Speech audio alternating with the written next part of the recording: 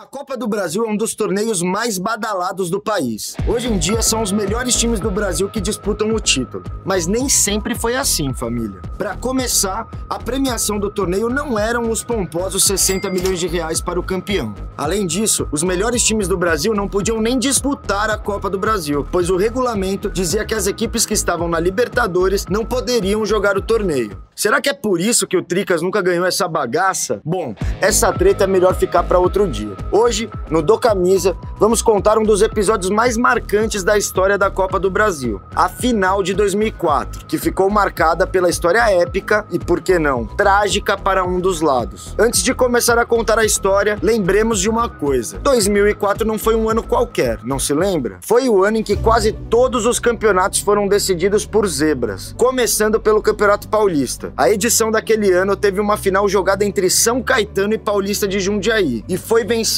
pelo time do ABC. Sabe quem treinava o azulão? Murici Ramalho, fio. Outra zebra monumental aconteceu na Libertadores. Quem não se lembra do Once Caldas da Colômbia e do polêmico goleiro Enal? O clube colombiano eliminou o Santos e o São Paulo antes de vencer nos pênaltis o Boca Juniors na final do torneio. As zebras não passearam só aqui nas Américas não, amigo. Na Europa, um tal de José Mourinho nascia para o futebol mundial, vencendo a Champions League com o Porto. Na final, os portugueses venceram outro time surpreendente, o Mônaco da França. Sabe quem meteu uma caixa na final da Champions daquele ano? Carlos Alberto, fio. Mas voltando para a Copa do Brasil de 2004. Você já deve ter lembrado que o grande campeão daquele ano foi o Santo André. O Ramalhão, como é conhecido, é uma equipe fundada em setembro de 1967. Até o título da Copa do Brasil, a maior glória do clube havia sido o modesto décimo lugar no Brasileirão de 1984. 2004. Tão modesta quanto a história do clube até 2004 era o elenco do Santo André daquele ano. Diferentemente de zebras históricas em que, depois do título, os jogadores se tornaram craques ou tiveram uma carreira longa em grandes clubes, o Ramalhão conseguiu um feito histórico com um grupo muito discreto. O zagueiro Alex Bruno foi um dos poucos que foi para um time grande após a conquista. O jogador foi contratado logo em seguida da Copa do Brasil pelo São Paulo e compôs o elenco tricolor campeão da Libertadores e Mundial Mundial de 2005. Engraçado que Copa do Brasil mesmo, o Alex só ganhou foi com o Santo André. O meia Romerito foi um jogador que teve uma carreira longeva, porém longe da elite do futebol nacional. Dono de uma boa categoria na perna esquerda, ele fez sucesso por Goiás Esporte. É daqueles meias clássicos, meio pernudos que jogam com a camisa dentro do calção. Alaganço, Petkovic ou até o Dodô, lateral esquerdo do Atlético Mineiro. Outro jogador que chegou a jogar em um time grande foi o folclórico atacante Osmar Cambalhota. A campanha histórica do Ramalhão lhe rendeu uma vaga no Palmeiras e uma rápida passagem no Grêmio. Inclusive no Palmeiras chegou a se lesionar dando cambalhota. Brincadeira, né, meu? Já que a gente mencionou folclore, fica aqui uma menção honrosa Fumagalli, que participou da campanha do Ramalhão na Copa do Brasil, mas deixou o clube ainda nas primeiras fases da competição. Investigando o banco de reservas, encontramos um dos jogadores mais vitoriosos dos anos 2000. Veja se você consegue adivinhar. Ele já esteve em três finais da Libertadores. Participou de times marcantes como o Santos de Neymar e o Flamengo de Jorge Jesus. Agora ficou fácil, não? Eu tô falando é do Pará. Na época,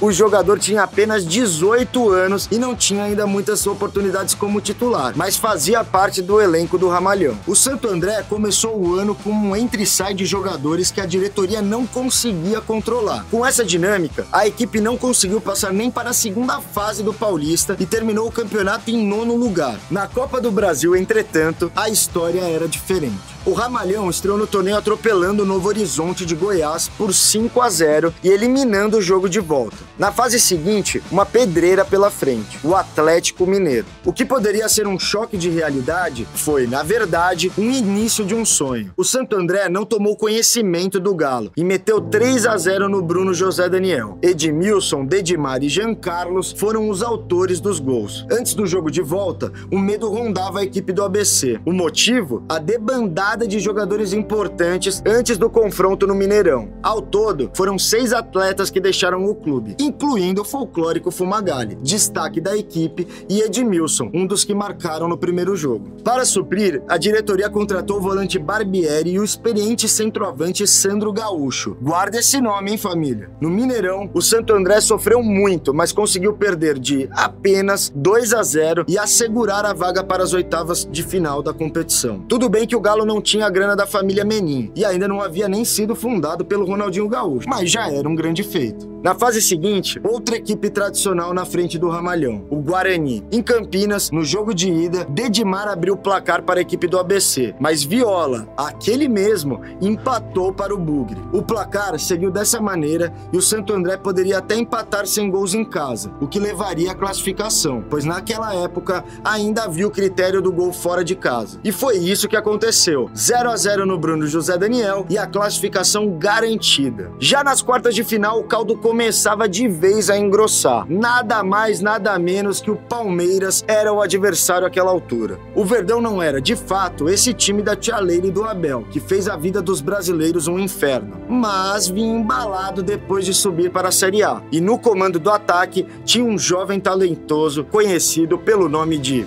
Wagner Love. Santo André estava confiante, chegava logo em sua primeira participação de Copa do Brasil na história nas quartas de final. Mas, como em toda história épica, o Ramalhão também teve seus momentos de drama. Primeiro, o então técnico da equipe, Luiz Carlos Ferreira, aceitou uma proposta do esporte e deixou o time. Como se já não bastasse, o Santo André foi severamente punido pelo STJD e perdeu 12 pontos por escalar dois jogadores irregulares nas primeiras rodadas do Brasileirão da Série B. Então, após empatar e perder o primeiro jogo da Série B daquele ano, o Ramalhão tinha menos 11 pontos em duas rodadas. Como é que sai dessa situação, hein? No meio desse furacão, a diretoria decidiu trazer Pericles Chamusca para o comando. E há dois anos, o treinador havia conseguido um grande feito na carreira, que foi levar o Brasiliense para o vice-campeonato da mesma Copa do Brasil. No Santo André, Chamusca não fez grandes mudanças, manteve a base da equipe e uniu o grupo para buscar coisas grandes naquele ano. Foi assim que o Santo André foi para cima do Palmeiras no primeiro jogo. Diante de um adversário difícil, um estado péssimo do gramado do estádio Bruno José Daniel, a partida foi recheada de jogo aéreo. Diego Souza, que não é aquele famoso que hoje joga no Grêmio, que também passou pelo Palmeiras.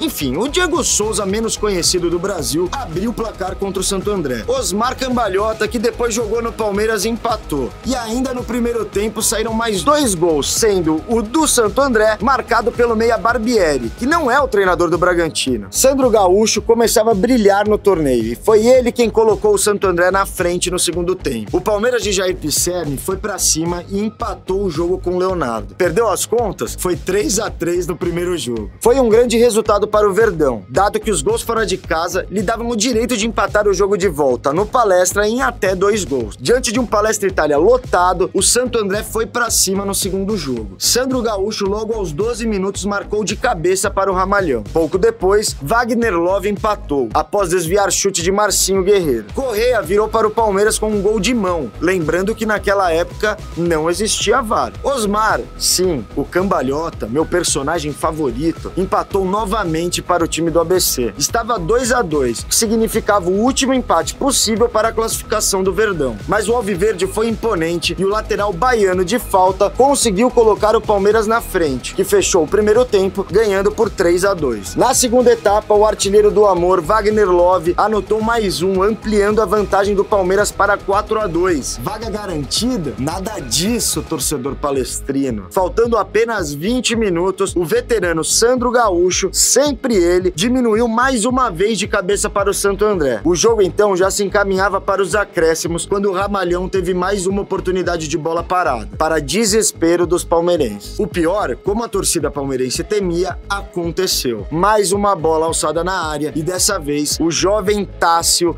colocou nas redes do Alviver. 4 a 4 e o Santo André estava classificado para as semifinais. A torcida do Palmeiras ficou totalmente enfurecida. O lendário goleiro Marcos, que não foi bem nas jogadas aéreas do Santo André e nem na jogada aérea do Manchester United no Mundial, saiu do jogo sendo xingado de frangueira. Após o jogo, como era bem típico do Marcão, ele acabou dando uma desabafada. Abre aspas para o ídolo palmeirense. Quando vai bem, são os mesmos que ficam pedindo camisa. Quando vai mal, são os mesmos que xingam. Estou pouco me lixando para esse tipo de torcedor. Fecha aspas. Lembrando que esses desabafos não eram bem uma exclusividade do Marcos. Naquela época, os jogadores davam entrevistas muito quentes, porque não tinha a figura de um assessor de imprensa ou o tal do media training, que deixa jogador hoje respondendo igual robô. Se esse robô fosse bom, né? Parava de existir futebol com seres humanos. Mas dane-se. Então era bem perigoso deixar atletas falarem depois dos jogos, mas a verdade é que era bem mais divertido e hoje o Marmitex estaria bombando. Voltamos para o Santo André, que estava ali naquela altura já fazendo história. Depois de eliminar mais um gigante, o time do ABC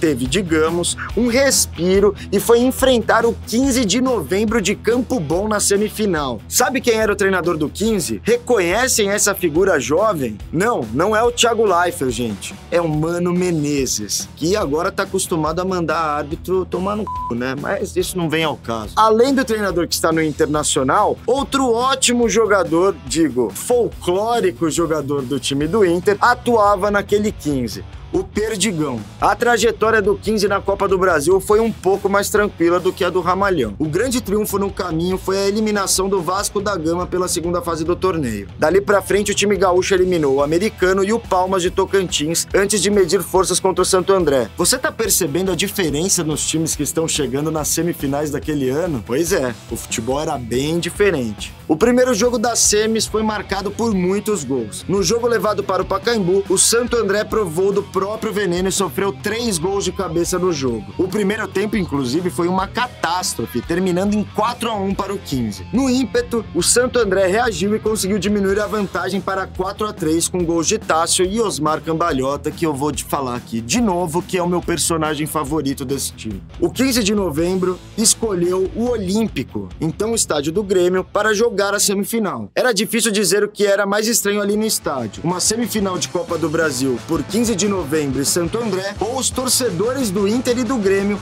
abraçados na arquibancada apoiando o time do 15. Com a bola rolando, Santo André viu seu sonho distante, pois logo aos 10 minutos, Belmonte abriu o placar para a equipe gaúcha. O Ramalhão precisava de três gols para se classificar. E adivinha quem apareceu? Ele, Sandro Gaúcho. E para resumir aquela partida, o centroavante apareceu, meteu duas caixas, contou ainda com um gol do jovem jogador prata da casa Makanaki, que eu não sei como se pronuncia, e conseguiu a classificação para a tão esperada final da Copa do Brasil daquele ano. Na decisão, mais uma pedreira pela frente. Mas não pelo Flamengo daquela época, que estava longe de ser o mega estrelado time de hoje. Se liga na escalação do Mengão para aquele jogo. Júlio César era o goleiro, que foi um dos maiores goleiros nos últimos tempos, inquestionavelmente. Fabiano Heller, um bom zagueiro que depois foi campeão mundial com o Inter. Ao seu lado, André Bahia. Na lateral esquerda, Roger Guerreiro, que depois até se naturalizou polonês, tá lembrado? Sim, aquele Roger mesmo, do pega, pega, pega! Na direita, Reginaldo Araújo era o lateral. No meio, da Silva, Douglas Silva, não o do Big Brother, e Ibson, ainda muito jovem, faziam a trinca junto com Felipe,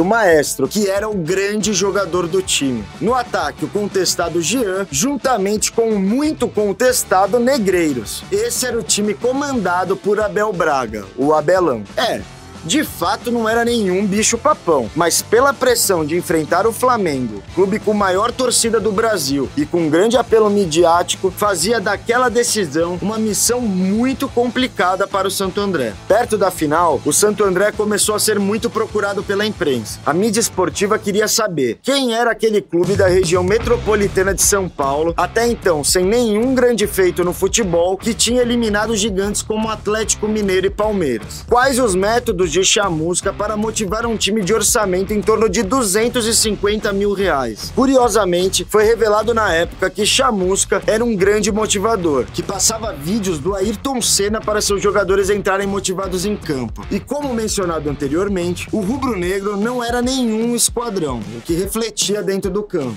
O Flamengo vivia um péssimo momento, amargando a vice-lanterna do Brasileirão. Porém, na Copa do Brasil, o clube carioca apostava todas as suas fichas. Já havia eliminado clubes importantes nas fases anteriores, como Grêmio e Vitória, e chegava à decisão de um título nacional depois de 12 anos. Todos os jogos no Maracanã, o Flamengo abarrotava mais de 70 mil pessoas e fazia o tão falado inferno para os visitantes. No primeiro jogo, alguns elementos curiosos. O Ramalhão escolheu o Palestra Itália para ser seu mando de campo, e mesmo com o apoio da Prefeitura de Santo André, cedendo ônibus aos torcedores, o estádio do Palmeiras ficou tomado por torcedores rubro-negros e por um grande vendaval. Imagine essa cena nos dias de hoje. Flamenguistas tomando o Allianz Parque. Inimaginável. Jogo tenso no início, mas com o Flamengo tomando as rédeas. De cabeça, Roger Guerreiro, pega, pega, pega, abriu o placar aos 26 minutos do primeiro tempo. O Flamengo criava mais e definitivamente se sentia em casa com o grande apoio da torcida. No segundo tempo, Chamusca deve ter chacoalhado o vestiário ou mostrado mais uma ultrapassagem emocionante de Ayrton Senna, porque a atitude do Santo André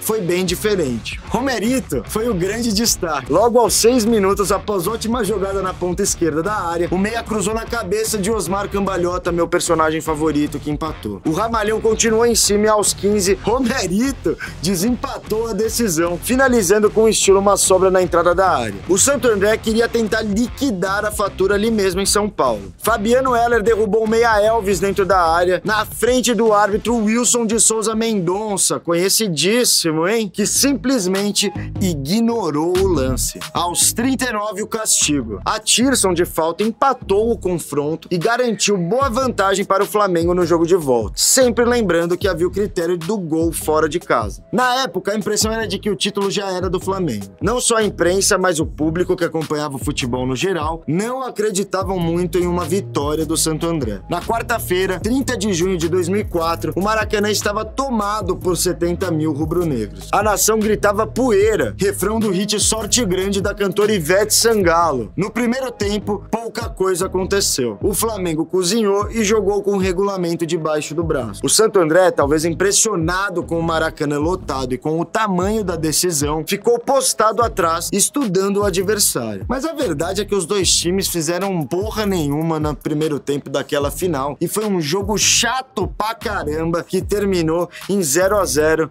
com a mão do Flamengo na taça. O Santo André então tinha que se atirar no segundo tempo. O Flamengo tinha uma média de idade elevada e o Ramalhão contava com jogadores jovens e fortes fisicamente. E era nesse quesito que o clube apostava. Na saída do intervalo, Romerito até disse para Abel Neto, na época repórter da Globo: Nós precisamos imprimir um ritmo mais forte, porque só assim vamos atingir o objetivo. Palavras fortes de Romerito. A Blitz, na base da força, então começava. Criando pouco esbarrando no time fechado do Flamengo, o Santo André tentava sair em velocidade quando retomava a bola. E aos seis minutos, Nelsinho escapou pela ponta direita e conseguiu um escanteio. Só quem acompanhou a trajetória do Santo André sabia que aquilo ali era uma grande chance para a equipe que empilhou gols em jogadas aéreas. O Flamengo sabia, tanto que só concedeu esse primeiro escanteio aos seis minutos do segundo tempo. E ele foi fatal. Sandro Gaúcho, o artilheiro veterano, apareceu sozinho na área estufou as redes de Júlio César. Festa dos mais de 300 torcedores do Santo André no Maracanã. O time do Flamengo nervoso em campo não conseguia reagir. A torcida que antes fazia a festa agora jogava contra, pressionando os próprios jogadores a cada erro técnico. Aos 22, o golpe fatal. Ele, com suas cambalhotas, Osmar fez boa jogada